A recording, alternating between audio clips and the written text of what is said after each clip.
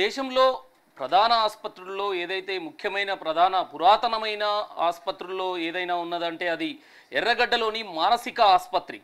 ఇది అతి పురాతన కాలంది నిజాం కాలం నాటిది. దేశంలో ప్రధాన హాస్పిటల్లో ఒకటైన ఎర్రగడ్డలోని మానసిక ఆసుపత్రి. ఇది అంటే చాలా పురాతనమైనది. ఇక్కడ రాష్ట్రం కానీ అటు దేశం నలుమూలల నుంచి మానసిక రోగులు తరలి వస్తున్న ఈ మానసిక ఏదైతే ఆసుపత్రి ఉందో ఎర్రగడ్డలో ఆ మానసిక ఆసుపత్రి ఇప్పుడు అరకొర వసతులతోటి అవస్థలు పడుతున్న పరిస్థితి. నిజాం కాలం నాటి ఈ ఆసుపత్రిలో ఇప్పుడు రోగులు చాలా ఇబ్బందులు పడుతున్న పరిస్థితి. మందుల కొరతతో సతమతమవుతున్నారు.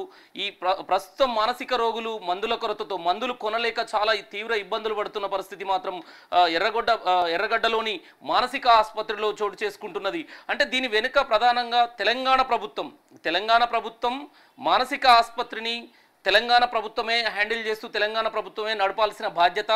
మానసిక రోగులకు మందులు కానీ ఫ్రీ ట్రీట్మెంట్ ఇవ్వాల్సిన ఒక ప్రభుత్వ ప్రధాన ఆసుపత్రి ఈ ఎర్రగడ్డ మానసిక ఆసుపత్రి. మానసిక రోగులు ఈ దేశంలో రాష్ట్రంలో మారుమూల ప్రాంతం నుండి ఎంతోమంది మానసిక రుగ్మతలతో వాళ్ళు ఇబ్బందులు పడుతూ మెంటల్గా ఉన్నవాళ్ళు అక్కడికి చేరుకొని వైద్యం పొందుతుంటారు. అలాంటి ప్రధాన ఆసుపత్రి ఈరోజు నిర్లక్ష్యానికి గురి కాబడ్డది. ప్రధానంగా రోగులకు మందులు లేవని చెప్పేసి మందులు అసలే కనీస మందులు ఏదైతే బేసిక్గా ఒక రోగులకు మానసిక రోగులకు ఇవ్వాల్సిన ట్రీట్ ట్రీట్మెంట్లో ఇవ్వాల్సిన మందుల కొరతతో ఆ మందు గోళీలు ఇవ్వకుండా తీవ్ర ఇబ్బందుల పరిస్థితి మందులు లేవని చెప్పేసి మందుల కొరత ఉంది అని చెప్పేసి స్వయంగా హాస్పిటల్కి సంబంధించిన డాక్టర్లే కావచ్చు హాస్పిటల్ ప్రధాన అధికారులే కావచ్చు స్వయంగా పేషెంట్లకు తెలుపుతున్నారు. అంటే దీని వెనుక మతలబు ఏమై ఉంటుంది అనేది కూడా పలు అనుమానాలకు దారితీస్తుంది. పేద పే ఎంతోమంది పేదలు పేద రోగులు అక్కడికి చేరుకొని డబ్బులు పెట్టుకోలేని కార్పొరేట్ వైద్యం పొందలేని పరిస్థితిలో ఉన్న వాళ్ళు మానసిక రోగులు మాత్రమే ఆ ఎర్రగడ్డ ఆసుపత్రి పైన డిపెండ్ అవుతారు. అలాంటి రోగులు అక్కడికి వెళ్ళి వేలల్లో డబ్బులు పెట్టి లక్షల్లో డబ్బులు పెట్టి మందులని కొనుక్కోవాలంటే తీవ్ర ఇబ్బందులకు గురవుతున్న పరిస్థితి మందుల కొరత ఉంది అని తెలపడంతో చుట్టుమట్టు ఉన్న ప్రైవేట్ ఏదైతే ఎర్రగడ్డ మానసిక హాస్పిటల్కు చుట్టూరా ఉన్న ప్రైవేటు హాస్పిటల్ మెడికల్ షాప్ల మీద డిపెండ్ అవ్వాల్సిన పరిస్థితి అక్కడికి వెళ్తే ఇదే అదునుగా ప్రైవేట్ మెడికల్ షాపు వాళ్ళు ప్రధానంగా దీన్ని ఒక బిజినెస్ చేస్తూ ఒక దందాగా వేలల్లో దండుకుంటున్న పరిస్థితి మొత్తానికి పేద రోగులకు అన్యాయం జరుగుతుంది. తెలంగాణ ప్రభుత్వం ఈ విషయంలో ఎలాంటి చర్యలు తీసుకోకపోవడం కూడా ఒక గమనార్హం. ఎందుకంటే స్వయంగా సూపరింటెండెంట్ హాస్పిటల్ సూపరింటెండెంట్ చేతులు ఎత్తేసిన పరిస్థితి. ఎన్నోసార్లు తెలంగాణ వైద్య ఆరోగ్య శాఖకు కూడా ఇన్ఫామ్ చేశాము. మందుల కొరత ఉంది.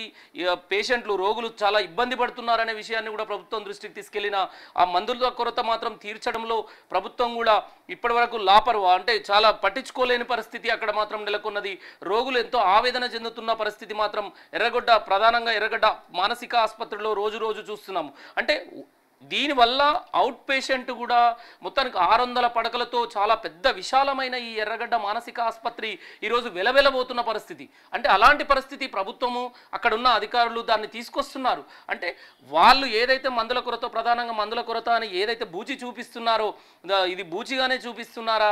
ఎందుకంటే ప్రైవేట్ మెడికల్ షాప్ల వాళ్ళని వాళ్ళకు లబ్ధి చేకూరేలా వీళ్ళొక కుట్ర బన్నుతున్నారా? సిండికేట్ అయ్యారా? అనే అనుమానాలు కూడా రోగి బంధువులు కూడా ఆరోపణలు చాలా బలంగా వినిపిస్తున్నాయి. ఏదైతే మందుల కొరత వాంటెడ్లీ ఒక కృత్రిమంగా వీళ్ళు క్రియేట్ చేసి వాళ్ళని ప్రైవేట్ మెడికల్ షాప్ల వైపు మళ్ళించే విధంగా ఇది ఒక పెద్ద ఒక దందా నడుస్తుంది అనేది మాత్రం వాళ్ళు ప్రధానంగా ఆరోపణలు చేస్తున్నారు. కానీ నిజంగా దీని వెనుక అలాంటి కోణాలే మాత్రం స్పష్టంగా కనబడుతున్నాయి. ఎందుకంటే కనీసం బీ కాంప్లెక్స్ లాంటి టాబ్లెట్స్ కూడా అక్కడ అందుబాటులో లేకపోవడము తన మానసిక రోగులు వాళ్ళ వైద్యం కోసం వచ్చిన వాళ్ళ తరపు బంధువులు ఏ మెడికల్ షాపులకు వెళ్ళినా ఆస్తులు అమ్ముకొని మందులు కొనాల్సిన పరిస్థితి నెలకొన్నది. ప్రభుత్వం పట్టించుకోవట్లేదు. డాక్టర్లు కానీ వైద్యాధికారులు కానీ ఎవరు పట్టించుకోవడం లేదని వాళ్ళు ఆ లబోదిబోమంటున్న పరిస్థితి. దీని వెనుక మొత్తానికి అవుట్ పేషెంట్ ఆఖరికి అవుట్ పేషెంట్ కూడా అంత దూరం వెళ్ళి కనీసం అవుట్ పేషెంట్లు ఓపీలో చూసుకోవడానికి వచ్చిన మానసిక రోగులు కూడా అంత దూరం వెళ్ళి కూడా వృధానే కిరాయిలు మీద పడుతున్నాయి. అంటే ఛార్జెస్ పెట్టుకొని ఎర్రగడ్డ మానసిక హాస్పిటల్కు వస్తే మానసిక ఏదైతే రుగ్మతలు కలిగిన వాళ్ళు అక్కడికి వచ్చినట్లయితే వాళ్ళకు ఓపీలో చూపించుకున్న తర్వాత ఇవ్వాల్సిన ఫ్రీ ఉచితంగా ఇవ్వాల్సిన మందులు కూడా ఇవ్వకపోవడం అంత దూరం పోయి వేస్ట్ అనే ఏదైతే ఆలోచనతో ఈ మానసిక రోగులు ఉన్నారో మొత్తానికి ఈ గత కొద్ది రోజులుగా గత పదిహేను ఇరవై రోజులుగా ప్రధానంగా ఈ మానసిక ఆసుపత్రి ఎర్రగడ్డ మానసిక ఆసుపత్రి అవుట్ పేషెంట్ విభాగం కూడా ఆరు వందల పడగలు మొత్తానికి ఉన్న ఈ ఆసుపత్రిలో. మొత్తానికి ఖాళీగా ఉన్న ఖాళీగా దర్శనం ఇస్తున్న పరిస్థితి. అంటే రోగుల శాతం కూడా మొత్తానికి రావడమే తగ్గింది. దేశంలోనే ప్రధానంగా ఉన్న ఈ ప్రధానమైన ఈ హాస్పిటల్ మానసిక ఆసుపత్రి పరిస్థితి ఇలా ఉంటే రాష్ట్ర ప్రభుత్వం ఏం చేస్తున్నట్టు కనీసం దీనిపైన ఎందుకు స్పందించడం లేదు? వైద్య ఆరోగ్య శాఖ అనేది కూడా ఆరోపణలు బలంగా వినిపిస్తున్నాయి. మరి దీనిపైన మొత్తానికి ఇకనైనా ప్రభుత్వం పట్టించుకుంటుందా? ఇది ఒకటే కాదు. ఎర్రగడ్డ మానసిక ఆసుపత్రికి ఇది ఒక సమస్యనే కాదు. మొత్తానికి టోటల్ సమస్యలతో సతమతమవుతున్న హాస్పిటల్ అంటే ఎర్రగడ్డ మానసిక ఆసుపత్రి మెంటల్ ఆసుపత్రి. అక్కడున్న ఆస్తులు కావచ్చు చాలా విశాలమైనది ఈ మానసిక ఆసుపత్రి.